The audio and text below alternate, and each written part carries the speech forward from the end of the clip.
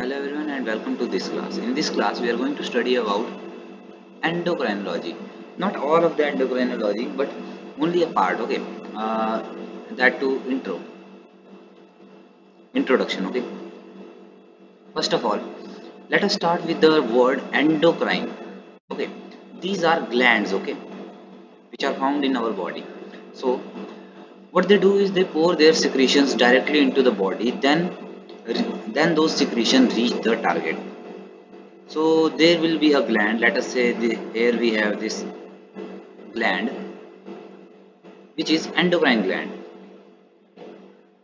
It will secrete some secretions into blood. Okay. And from this blood it will go to its target cell.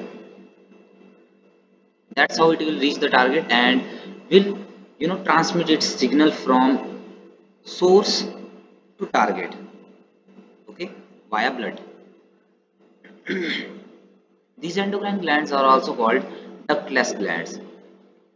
Why they are called ductless gland? As you can see the secretions are being poured into blood not to some duct okay? That's why they are called ductless gland. And some example of these are like uh, adrenal gland pituitary gland hypothalamus gland etc okay? These are the examples of endocrine gland. Now what about exocrine? Okay?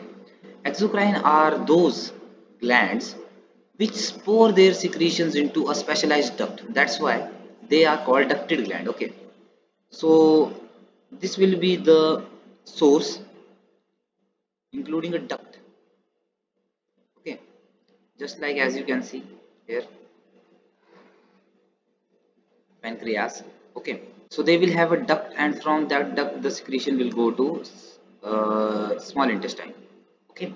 So here we can say it is a ducted gland but uh, this example is of heterocrine gland which is mixture of this endocrine and exocrine okay. And what we are studying basically is endocrinology. So the secretions which which are secreted by these endocrine glands are called hormones. See here hormones. And these hormones are chemical messengers that carry signal from one part to target as i have explained to you earlier. Okay. And hormones are produced by endocrine glands in small amount.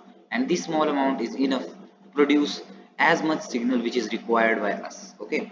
So basically hormones regulate growth development and response of body. Hormones are of two type. First is here lipid soluble and second is water soluble. Okay. Lipid soluble contains two types. First is steroidal and second is thyroidal hormones. Thyroidal hormones comes from thyroid gland okay. Thyroid iodine you can understand this okay. This here tri triiodothyronine and 4 T4 it is tetra. Tetra okay and about steroidal hormone we have estrogen progesterone testosterone cortisol cholesterol derivatives etc okay? And when it comes to water soluble hormones they are of these three types okay? They can be amine derived peptide derived eicosanoid hormones okay? Amine derived contain epinephrine norepinephrine dopamine histamine sorry yeah histamine serotonin okay while as uh, peptide derived they contain insulin oxytocin adh antidiuretic hormone growth hormone and eicosanoid hormones contain progesterone leukotrienes etc